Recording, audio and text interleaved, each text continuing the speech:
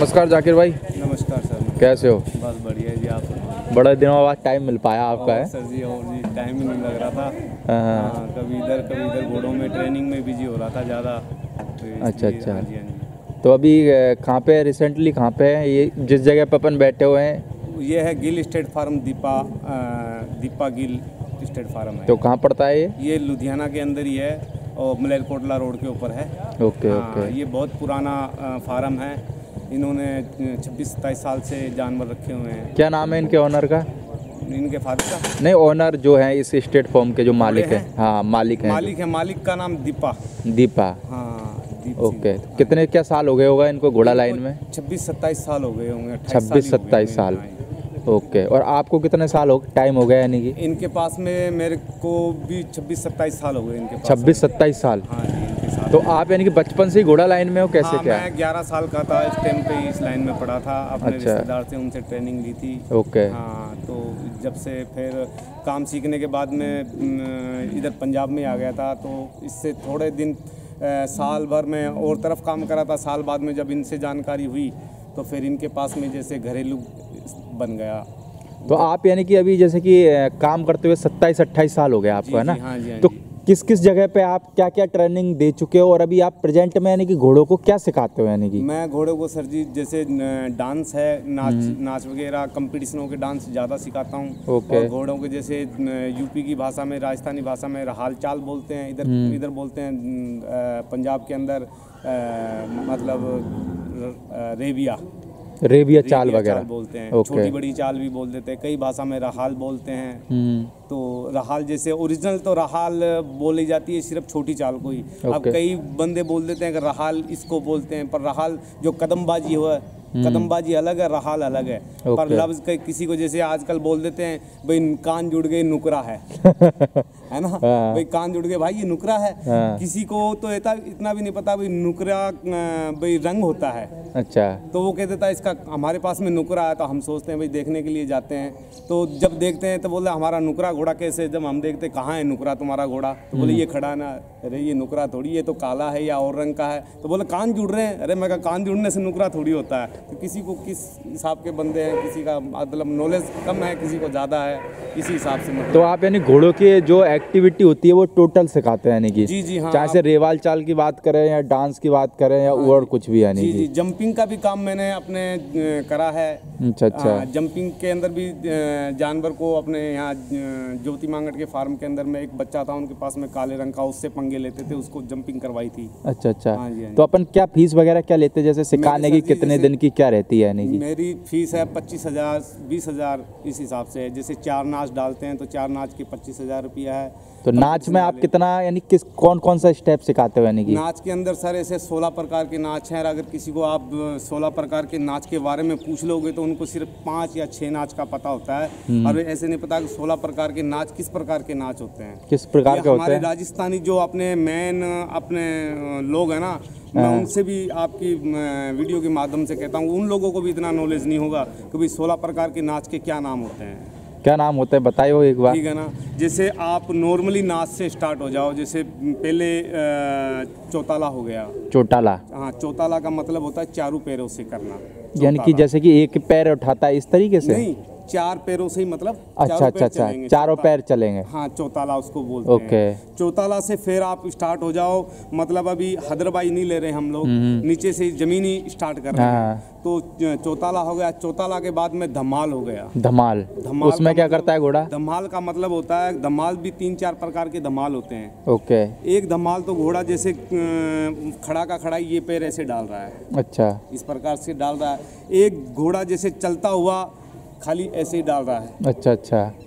एक पैर उठा रखे एक पैर ज़मीन। ना वो एक पैर वाला उसको इकबाई बोलते हैं। इकबाई। इकबाई बोलते अच्छा। हैं और हमारी राजस्थानी भाषा के अंदर जो नाच आजकल के जो युवा सवार हैं वो उसको तीतरी बोल देते हैं। अच्छा। मैं आपको शॉर्टकट में समझाता हाँ। हूँ। तीतरी नाच बोलते हैं तो तीतरी दो प्रकार के तीतरी होते हैं। हाँ। तीतरी के अंदर के घोड़ा पिछले पैर खड़े कर रखे हैं। ओके। और अगले पैर का इस्तेमाल कर रहा है। अच्छा अच्छा। हाँ हाँ समझ गया। और दूसरा घोड़ा तीतरी नाच रहा है हाँ। जल्दबाजी के अंदर तो पिछले पैर के टप्पे मार रहा है। अच्छा अच्छा। उसके बावजूद फिर जैसे तीतरी के अंदर कोई घोड़ा तीतरी कर रहा तो तीतरी के अंदर तुलंग के पेड़ दिखा रहा है। हम्म और किसी को इतना नॉलेज नहीं है कि भाई रीछी रीछी नाच किसको होता है जो रीछ होता है ना रीछ। रीछ होता है वो कभी भी आप नोट करना हाँ। कि जो घोड़ा होता है नाच करता तीतरी तो उसके अंदर रीछी पैर देता है घोड़ा तो ऐसे तुलता है। तो आप रीछ उसको ओरिजिनल वो लफ्ज़ नाच का रीछी नाच है। हम्म। और फिर रीछ कभी भी देखना आप गुस्से के अंदर आएगा तो दो पैर ऐसे बगल में दबा के इस प्रकार से पैर मारेगा। अच्छा घोड़ा भी मारता है जैसे कभी कभार डांस में देख। आपको मैंने घोड़े का दिखाया था हाँ। वो जंप मार रहा वो हाँ। घोड़ा ऋषि ओरिजिनल ऋषि नाच करता था। एक घोड़ी और है यहाँ पे दुबरजी है। हाँ। उस वो घोड़ी भी ऋषि नाच करती है। अच्छा। एक घोड़ी हमारा दोस्त है अमरीक मिक्का। उसके पास में वो घोड़ी भी ऋषि ऋषि तुलंग करती है वो। ओके तो आ, मतलब कई प्रकार के फिर हदर के अंदर बावजूद हदर के अंदर घोड़ा हदर में तीन स्टेप है हदर के भी। ओके हदर के तीन स्टेप है वाइजिद एक हदर जैसे एक घोड़ा उठा और वो थोड़ा यहाँ से तुल गया। अच्छा। फिर उससे थोड़ा सा ऊपर एक घोड़ा पूरा तुल गया एक सतर में बिल्कुल खड़ा हो गया। हाँ सतर में पूरा तुल गया। एक सतर के अंदर जाके घोड़ा अब कई जैसे ऐसे ऐसे करते हैं ना उसको हाँ। बहुत बढ़िया मानते हैं। हम उसको हदर नहीं मानते हैं। अच्छा। क्यों क्यों कर रहा वो घोड़ा? उसका हाँ। बैलेंस नहीं बन रहा। अच्छा इसलिए कर रहा है। हाँ, और लोग वाह कहता है "अरे वाह वाह वाह अरे इसको ये इसका बैलेंस नहीं बन रहा बेचारा वो अपने बैलेंस बनाने के लिए वो अपना ऐसे ऐसे हिल रहा है। हाँ। तो जिस घोड़े का बैलेंस बनेगा ना घोड़ा हाँ। तो वो आप कभी नोट करना प्रोग्रामों में कहीं फंक्शनों में जाते हैं या मेलों में जाते हैं हम्म। तो जो घोड़ा हदर के अंदर ऐसे पूरा तुल के खड़ा होगा ना वो अच्छी तरह से राउंड मार लेगा क्योंकि वो अपना पूरा बैलेंस बना चु- बना होता है अच्छा अच्छा। बैलेंस बन जाता है। और जो घोड़ा ऐसे ऐसे करता रहेगा ना, ज़्यादा देर तक नहीं कर पाएगा। वो ज़्यादा देर तक नहीं वो नीचे गिरेगा आगे। अच्छा अच्छा। तो इस प्रकार से कई घोड़े के हैं और अभी हमारे उस्ताद लोग हैं हम्म। तो उनका अनु नाम है अच्छे उस्ताद हैं वो भी। हम्म। और जो उनके ब्रोदर हैं वो हज़ारी लाल वो भी बहुत अच्छे उस्ताद हैं। हम्म। तो उनके मतलब जो अनु हैं वो नाच के अंदर हम उनको बहुत अच्छा मानते हैं मानते हैं। घोड़ों की नाच के अंदर। ओके। बहुत बेहतरीन मानता हूँ मैं उनको सलूट मारता हूँ उनको। और जो उनके भाई हैं बड़े हजारी जी है हम्म। तो वो मतलब घोड़ों की सालोतरी जानकारी के अंदर बहुत ही अच्छे उस्ताद हैं और हम उनको सलूट मारते हैं कि बढ़िया हैं उनके ख़ानदान से हम काम सीखे हुए हैं। मेरे उस्ताद का नाम राम गोपाल था तो मेरे उस्ताद को बोलते थे जंगी घोड़ा और भंगी सवार। अभी है वो? वो ख़त्म हो चुके खत्म हो चुके हैं। तो बहुत बदमाश घोड़ों का उस्ताद था मेरा जो उस्ताद थे ना। अच्छा। तो वो बहुत बदमाश घोड़ों के उस्ताद थे ओके। उनका नाम था यूपी के अंदर। और अच्छे जो घोड़ा किसी से बनन में नहीं आता था ना हम्म। तो वो लास्ट में कहते थे कि राम गोपाल को बुलाओ। तो आपने जैसे कि डांस वगैरह में क्या उपलब्धि हासिल कर रखी है यानी कि? डांस के अंदर सर मैं पहले तो 2007 के अंदर कंपटीशन जीता था मैं पुष्कर का जब स्टार्ट हुआ था नामा नामाई पुष्कर। ओके। हाँ चैंपियनशिप स्टार्ट हुई थी। हम्म। उसके अंदर घोड़े के मैं जीता था। उस उस टाइम पे हमारी हमारा घोड़ा जो हमने जो छाल मार रहा था घोड़ा वो दूसरे नंबर पे आया था। उस टाइम हम्म। पे फिर उसके बाद में अ, न- 2008 के अंदर फिर उसी घोड़े का फ़र्स्ट आया। तीन साल लगातार उस घोड़े ने फ़र्स्ट अप्राइज जीता 21 देशों की चैंपियनशिप जीती उस घोड़े ने। 21 देशों की चैंपियनशिप जीती उस घोड़े ने। हाँ जी। अच्छा। और फिर उसके बाद में उस घोड़े का फ्लोर कंपटीशन हुआ था तो ऑल इंडिया पुलिस लाइन के अंदर कंपटीशन हुआ था जहाँ मेरे को मेडल मिला था। आप ही थे उस पर भी? हाँ जी। ओके। तो उस घोड़े ने अपना मतलब किस देशों के अंदर चैंपियनशिप और उसके अंदर मेरे को वार्ड मिला था और अपने डीजीपी साहब ने दिया था मुझे। मेडल में क्या मिला था यानी कि? मेडल मिला था मेरे को और मूवमेंट मिली थी। अच्छा अच्छा। हाँ जी। तो घर पे पड़ी है ट्रॉफी पड़ी है हाँ इंटरनेशनल ट्रॉफी है और काफ़ी ट्रॉफियाँ जीती हुई है मेरी चाल अच्छा। में नाच में डांसिंग के अंदर हर प्रकार से। यानी कि बोलो तो चाल के यानी कि आप एक तरीके से बोला जाए तो बेहतरीन मास्टर हो यानी कि जी हाँ घोड़े को बेहतरीन डांस सिखा सकते हो। बस जी कृपा है उस रब की अपनी तो क्या औकात है। पर हाँ इतना है कि उसका बहुत बड़ा आशीर्वाद है मेरे उस्ताद का बहुत बड़ा आशीर्वाद है। तो उस्ताद की मार खाया हुआ बंदा कभी धोखा नहीं खाता धोखा नहीं खाता। तो इंसान उस्ताद अच्छे उस्ताद का कहते हैं हाँ। लोग कि यार फलाने अच्छे उस्ताद का चंडा हुआ है। अच्छा तो अच्छा। अच्छे उस्ताद का कोई भी चीज़ के अंदर बंदा चंड जाए ना तो वो मतलब कभी ज़िंदगी में मार नहीं खाता। तो आप जैसे कि घोड़ों को जो डांस वगैरह सिखाते हो तो पर्टिकुलर यानी कि एक जगह पे पूरे ऑल इंडिया में कहीं पे भी आपको कोई बुलाए? हाँ जी मैं कहीं पे भी चला जाता हूँ जी कहीं पे भी हाँ, चला जाते हो? पास में बंधे हुए नहीं है कहीं भी अच्छा। जैसे बुलाना चाहते तो वहीं पे जैसे चला जाते तो आपने जैसे कि अगर बात करें हम इम्पोर्टेंट यानी मोस्ट यानी कि जो नामचीन लोग हैं किन किन के फार्म हाउस पे काम किया हुआ है किन किन के घोड़ों को डांस सिखाया हुआ है? जी हाँ आपने सबसे पहले सिखाया था आपने हरप्रीत सिंह है संदड़ा का लड़का। ओके। उसकी घोड़ी को सिखाया था फिर उसके बाद में नंगला का जो घोड़ा जंप करता है हाँ हाँ। उस घोड़े को सिखाया था। उसके बाद में फिर एक दुबुर्जी का है हैप्पी हैप्पी नाम करके हाँ। उसकी घोड़ी भी बहुत अच्छा मतलब प्रदर्शन करती है। ओके। और एक अपने हैं अमरीक सिंह हम्म। तालिया का। उसकी घोड़ी है और एक दलजीत है अपना दोस्त मेरा बहुत बेस्ट फ्रेंड है। ओके उसकी घोड़ी है उसको मतलब ट्रेनिंग दी थी उस घोड़े को। तो उसने मतलब हमें बहुत सत्तर अस्सी हज़ार रुपये उसने उस बंदे ने मेरे को दिए थे ट्रेनिंग के पर उसका घोड़ा पूरा वर्ल्ड के अंदर उस घोड़े का नाम है आज भी। ओके तो वो घोड़ा बारह बारह प्रकार का डांस करता है वो घोड़ा। अच्छा अच्छा। हाँ जिसको आजकल क्या है कहते हैं कि नागिन। हाँ नागिन डांस। नागिन डांस कहते हैं ना? वो रस्सी बाँध के पीछे से हाँ, वो ऐसे ऐसे करता है रस्सी वो। बाँध के पीछे से ऐसे। अरे यार बेचारे को क्यों यूँ यूँ यूँ। ये डांस है। मतलब लोगों ने अरे डांस तो ऐसा होना चाहिए घोड़ा इशारे पे चले ऐसे। हमारा हाथ का इशारा हो रहा है और पता ना लगे घोड़ा किधर से हिल रहा है। हम नचा रहे हैं कभी आपको डांस की देंगे हम। हम्म, तो हमारा आपको ये नहीं पता लगेगा कि हम किस प्रकार से नचा रहे घोड़े को हमारा सिर्फ़ हाथ का इशारा समझ रहा है। लोग बाग साल साल डेढ़ डेढ़ साल घोड़ों को नचाते हैं सर। अब जैसे कि मैंने बहुत सारे देखा है घोड़ों को। मैं जैसे एक मेले में गया था नाम बोल रहा हूँ। वहाँ मैंने देखा था घोड़े के मुँह से बहुत खून निकल रहा था। वो यही हो गया ना ऐसे ऐसे छील रहे हैं घोड़े का मुँह तो वो रगड़क लगती जाती है एक जगह एक जगह रगड़क लगती जाती है तो तो मुँह छिलेगा घोड़े का। तो क्या वास्तव में नाच के लिए घोड़ा बना हुआ है? जैसे बहुत सारे लोग बोलते हैं कि सर नाच के लिए तो ये घोड़ा है नहीं इसको तो नाजायज परेशान करा जा रहा है। देखो सर ऐसे है कि नाच के अंदर हम ये कहते हैं जिस कोई भी कदमबाजी में चाल में और नाच में कोई घोड़ा किसी माई के लाल से नहीं बन रहा मैं दावे से कहता हूँ मुझसे बात करो। यानी बिगड़े हुए घोड़े को बनाने का काम करते हो?